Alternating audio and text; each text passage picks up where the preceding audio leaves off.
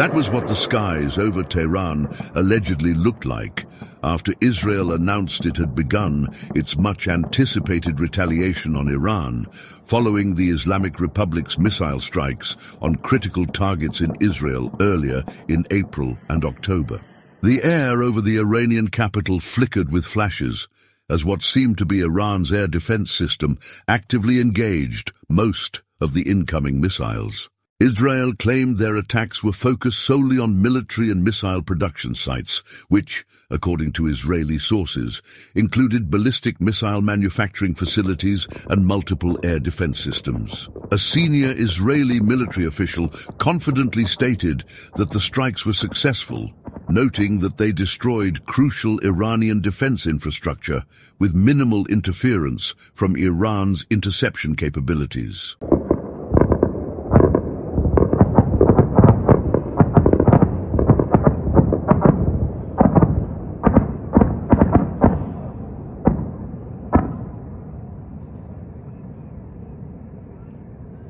Yet despite these bold assertions, evidence on the ground, or rather in the sky over Tehran, painted a far more complex picture. Videos like this are often not promoted by YouTube, so we encourage you to help it reach more people by liking and sharing it with your friends and family. Subscribe to stay informed on the latest developments in Lebanon and Gaza.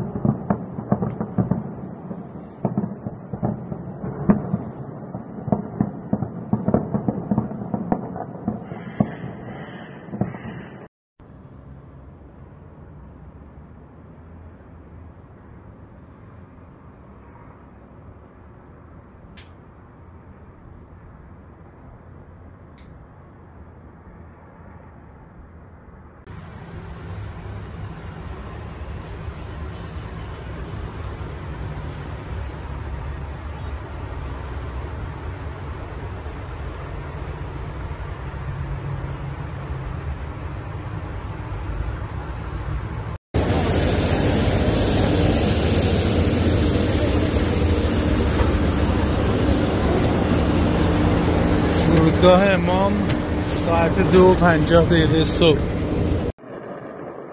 Unlike the Iranian missile barrage on the 1st of October, which had clear, documented impact on Israeli targets, there has been no definitive footage showing significant damage or destruction in Tehran. Unverified videos circulating online instead show crowds of Iranians on the streets, seemingly unfazed, some even mocking Israel's massive strike. In these clips, the aftermath of the attack appeared limited to minor fires on the streets and footage of the intense response by Iran's air defense's defenses that it seems caught the Israelis off guard. Many reports suggested that Iran's Bavar 373 system, a domestic air defense platform, may have played a pivotal role in countering the Israeli offensive. Alongside Russia's radar and air defense support, Iran appeared to deploy a formidable shield that surprised Israeli military planners. The absence of the usual fanfare from the Israeli side was palpable, particularly when comparing this operation to others against smaller, less equipped adversaries. We have concluded the Israeli response to Iran's attack against Israel. The mood, as reflected in the words of IDF spokesman Daniel Hagari, lacked the usual triumphant tone. His voice, usually charged with pride during such announcements, was more restrained, as if the operation hadn't quite delivered the victory Israel had promised. We conducted targeted and precise strikes on military targets in Iran, thwarting immediate threats to the state of Israel. The Israel Defense Forces has fulfilled its mission. If the regime in Iran were to make the mistake of beginning a new round of escalation, we will be obligated to respond. Our message is clear. All those who threaten the state of Israel and seek to drag the region into wider escalation will pay a heavy price. We demonstrated today that we have both the capability and the resolve to act decisively, and we are prepared. It's important to contextualize this operation within the larger framework of Israel's military strategy. For decades, Israel has prided itself on its superior air force and long-range strike capabilities, often demonstrating these in smaller conflicts where it targets civilian infrastructure under the justification of rooting out militants. In contrast, engaging Iran, a military equal in many ways, is a different scenario altogether. This latest operation, while touted as a significant blow to Iran's military assets, raises the question, can Israel actually achieve a decisive victory without resorting to the tactics it has historically used against less equipped adversaries? According to sources monitored by OMT News, the massive and decisive attack seems to have missed the mark in terms of widespread destruction. While Israel launched numerous missiles, all from maximum standoff distance, Iran's air defense responded with an overwhelming barrage of interceptors. The lack of confirmed damage to any major Iranian targets, coupled with the absence of credible video evidence showing widespread devastation, calls into question the effectiveness of the Israeli offensive. There were reports of some explosions in western Iran, but they were relatively minor, failing to align with the dramatic narrative of total destruction that Israel had forecasted. One of the most striking conclusions drawn from this exchange is just how formidable Iran's air defense capabilities have become. With the integration of advanced Russian radar systems and the deployment of their own Bavar 373, Iran demonstrated a level of defense that complicated Israel's typical strategy of long-range missile strikes. The fact that Israel, a nation often heralded for its cutting-edge military technology, faced such resistance suggests that the dynamics of warfare in the Middle East are evolving. The Israeli military's attempt to strike from afar without risking its aircraft deep inside Iranian airspace may indicate a recognition of how dangerous Iranian defenses have become. Israeli sources, of course, maintained that the strikes were successful in hitting their intended military targets. However, the lack of evidence to support these claims coupled with Iran's insistence that most of the missiles were intercepted, paints a picture of an Israeli operation that was, at best, only partially effective. This contrasts sharply with the typically overwhelming force Israel uses when striking less defended areas like Gaza or southern Lebanon, where civilian infrastructure often becomes the focal point of their bombardment.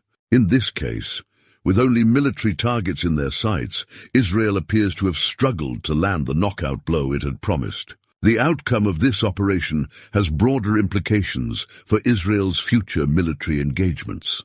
For years, Israel has honed its strategy around striking civilian infrastructure under the pretext of eliminating militants embedded within. This has been true in Gaza, where residential buildings, schools and hospitals often become targets in the fog of war.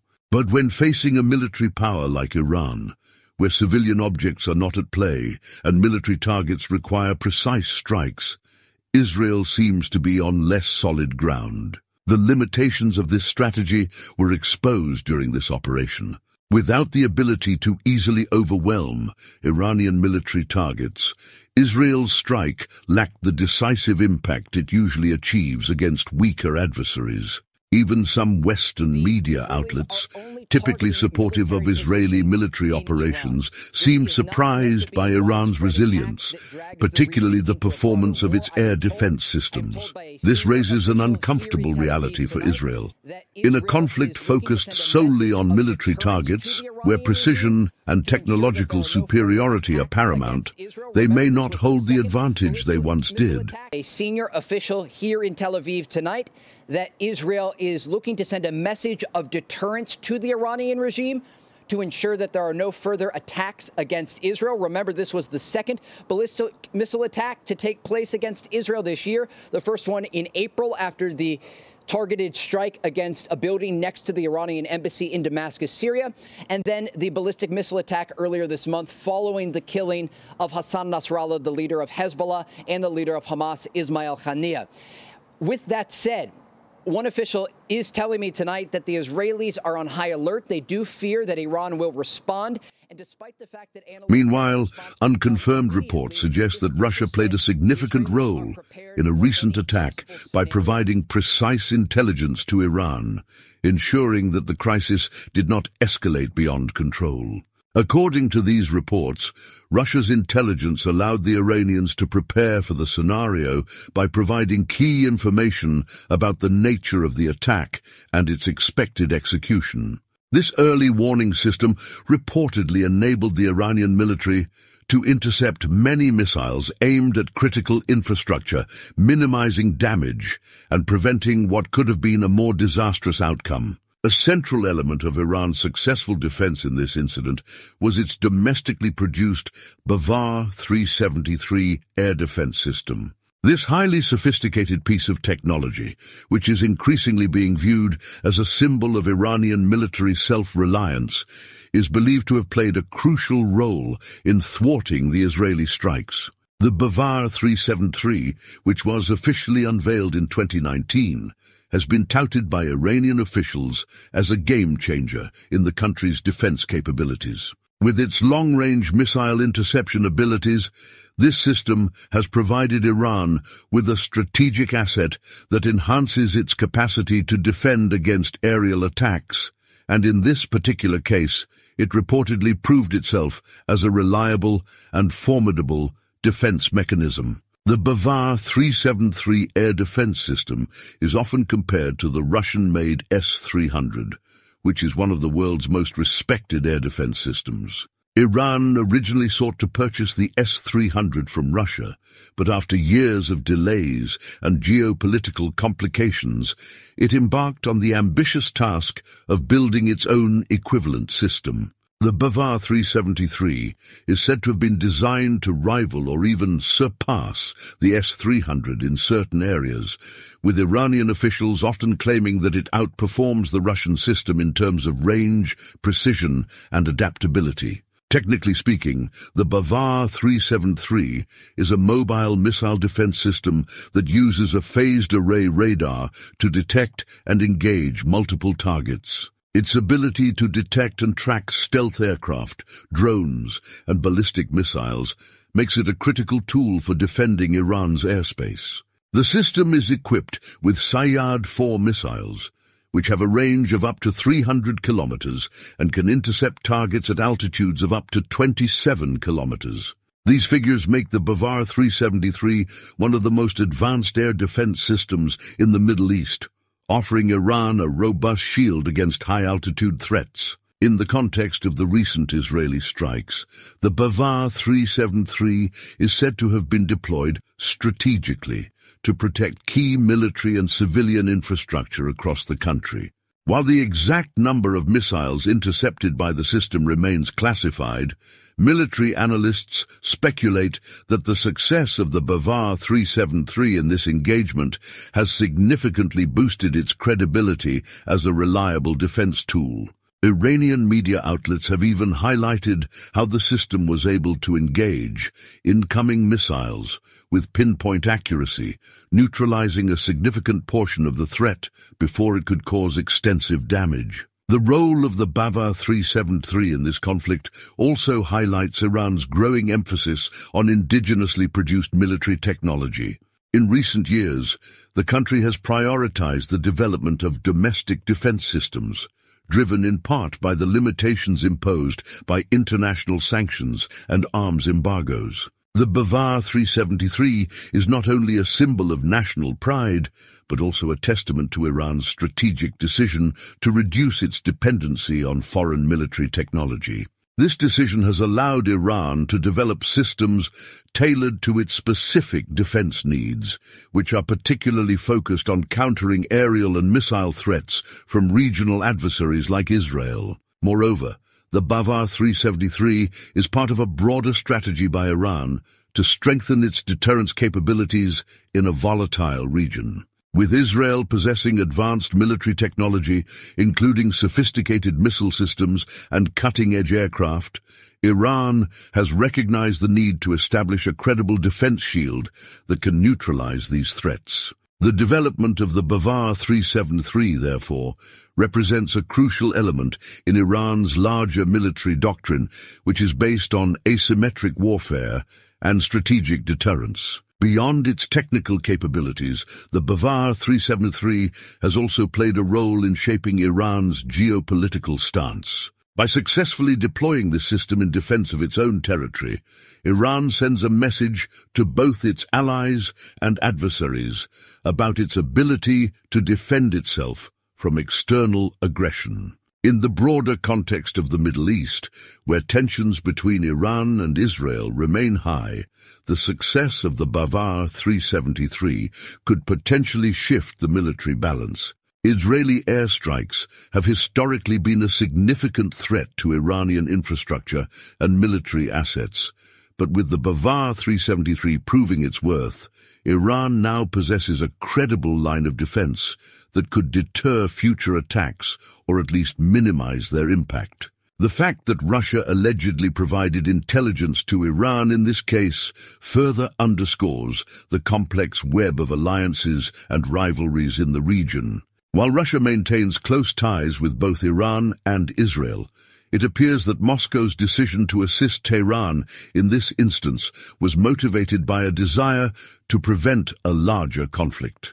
By giving Iran the means to defend itself effectively, Russia likely aimed to avoid an escalation that could destabilize the region further, particularly at a time when other conflicts, such as the Syrian war, continue to simmer. However, the long-term implications of this cooperation between Russia and Iran remain to be seen.